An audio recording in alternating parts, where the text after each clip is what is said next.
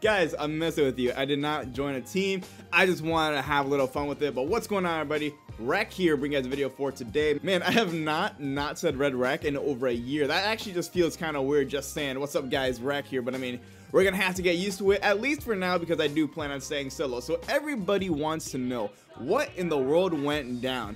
As soon as it happened, I my DMs got flooded, my mentions got flooded. Everybody just wanted to know what the hell was going on. So I will tell you what's going on. And I guess the only place to start for this video is to answer questions that everybody's been asking me ever since the first incident when the whole Red House left. So this is basically how the story goes. The Red House which is now the Obey House, which is Gandhi, Nicks, Formula, Kiwiz, and Randumb, or at least those were the people in the Red House at the time that I went to the Red House when I joined Red. They all left Red initially, and it was like a big deal.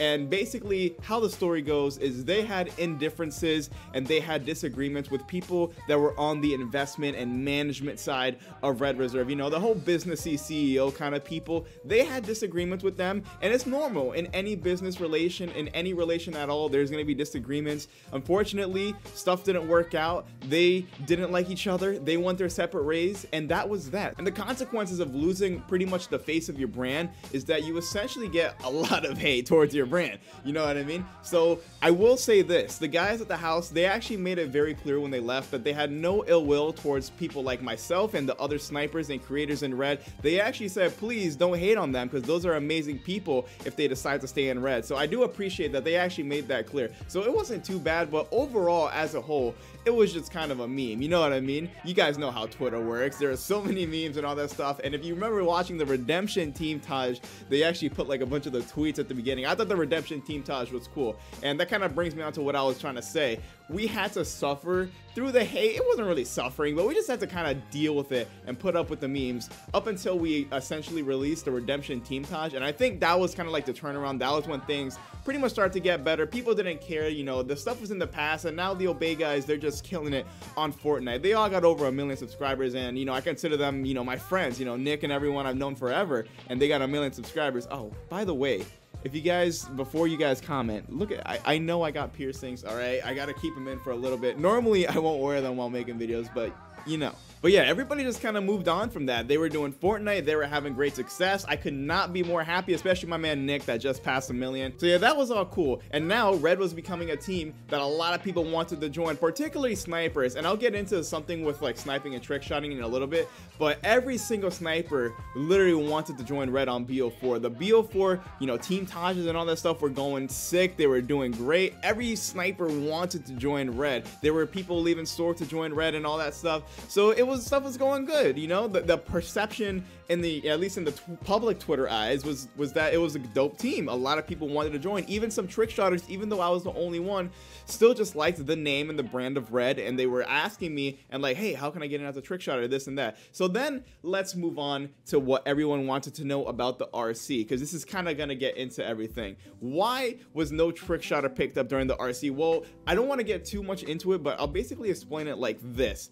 There, I could name you five snipers that killed the red RC and were making content and hitting clips and deserved to get in red before any trick shotter deserved in red, but they didn't get in red, if that makes sense. So I like to put the labels aside. I kind of got past the whole labeling trick shotting and sniping. I kind of got past that on BO4. I, I just, I don't like it, all right? I basically looked at it like this. You either hit clips and make content, and that's it. That's all it is, hitting clips and making content. So when you put labels aside, there were like five more snipers that deserve to get in red before any trick shotters get in. And it's not a right thing to do to recruit like a trick shotter in red just because we feel like we had to recruit a trick shotter. Because then that's more of a PR move rather than a genuine recruit that would actually fit into the team and be a good fit, if you guys know what I'm saying. So yeah, I hope you guys can understand what that kind of comes from because I get a lot of people still to this day ask me about that. So now let's get into what actually happened today. So I was basically sitting here just like this, just like I am now playing Apex Legends. I've been addicted to this game. It is amazing, like 11 out of 10 game, but that's besides the point.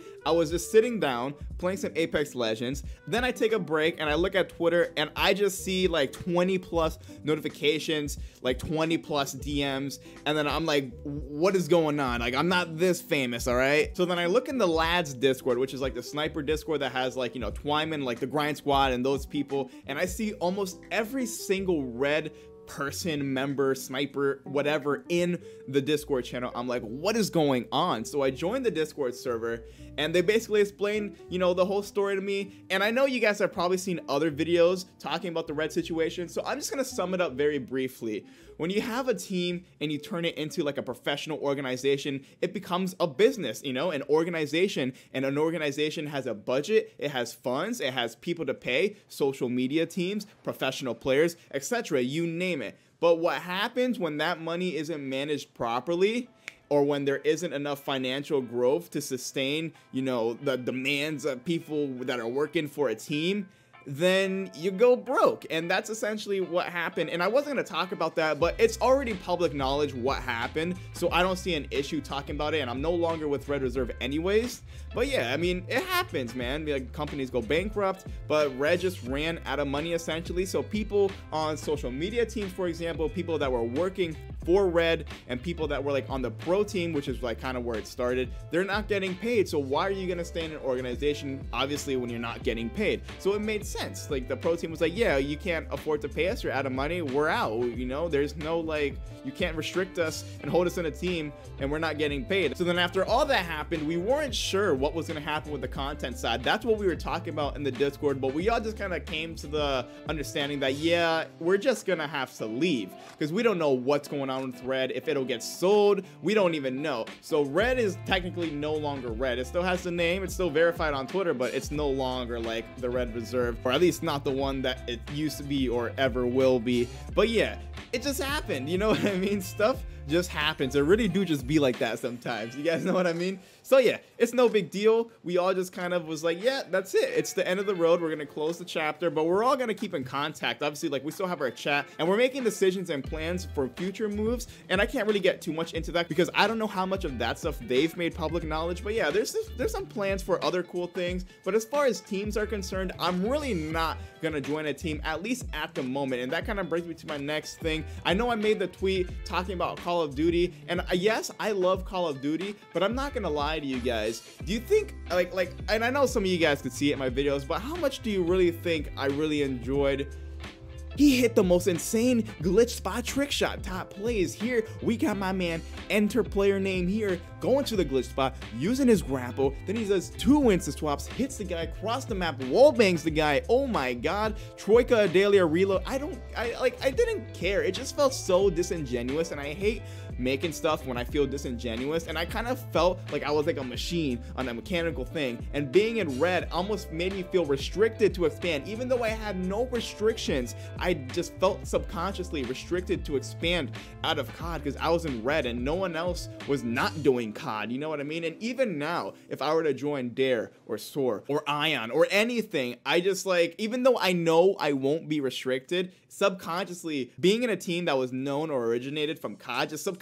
makes me feel creatively restricted, even though I'm probably not. I could do whatever I want. That's why you guys will see I'll start doing some of that, some live streams and some videos going for kill records and stuff like that because I love this game. I'm pretty good at it and I really want to start making content. So if you guys do see a lot of Apex videos, then just know that I, I told you and I hope you guys stick around. And I do really blame myself and this is where it kind of gets a little heartfelt, but I, I truly do blame myself I guess not, not maybe not for expanding earlier, but because I revolved my content so much around my trick shots instead of myself personally, I kind of feel like anything that's not COD trick shotting, a lot of people aren't interested. But I'm grateful because I know that there's still a handful of you guys that are definitely going to be watching me and liking my videos and leaving nice comments no matter what because I truly do have like the most positive fan base and that just comes from being a nice person to everyone. Like I've never had any drama with any single person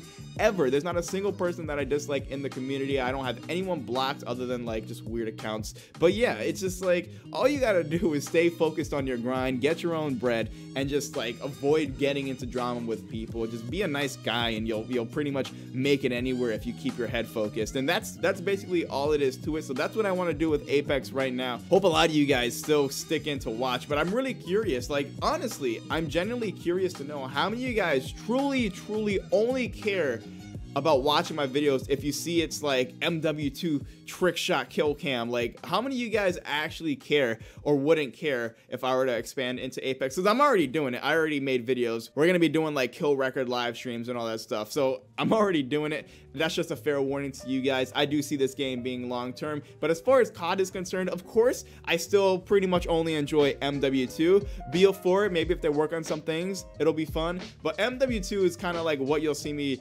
play as far as COD is concerned. But I do love this game a lot, so I will be doing it. And other than that, I guess that's it. Expect some changes, but at the same time, nothing is changing. Like, I'm gonna do what I wanted to do regardless. I basically was just in red because I was homies with all of them. That's why I stayed in. I, I met them all at Anaheim. We all hung out, and I liked the red snipers. That's why, despite being the only trick shotter, I put the labels aside and I stayed in red just because I was cool with them. Even though every single person was like, join Ion, join Dare, like try to join SoaR. Like, nah, I'm, I'm chill with everyone in red. I love all the guys. They're the homies. I hung out with them. I'm staying in. But now that this all ended, we're all solo, and that's it. so yeah, that's basically the entire story. I hope I didn't ramble on too much because the first time I recorded this, I was talking for like 45 minutes, and yeah, nah, that's too much. So yeah, hope you guys kind of understood where I'm coming from. Expect to see some MW2, but a lot of this game, I will be grinding out content on this game and just experimenting with other things. I know my channel will probably go to one quarter, one half, one fifth, one tenth, 120th of what my normal ratings are, but I don't care. And I know it sounds cliche, but it really is just about having fun and everything else will follow. When the guys from the Red House, they switched to Fortnite, their ratings dropped a lot. It got really bad. But the more they stuck to it, because they genuinely enjoyed it, and you could tell in their videos that they genuinely enjoyed it rather than sitting on BO2, making a cut com every day like a robot, not really having fun, just having the same routine over and over. It's not fun. It's not fun. That's exactly how it feels with COD right now, unless they make some changes. But MW2 Remastered, I heard, is coming out soon, so mm, you never know. Next COD. But for now, we're gonna be sticking to new things, experimenting, and if my ratings drop, then whatever, they drop and we'll rebuild it with whoever wants to stay loyal, I guess. So yeah, really appreciate everyone sticking around. I love you all so much. Hope you guys have a great day. It's been Req, and I'll catch you guys later.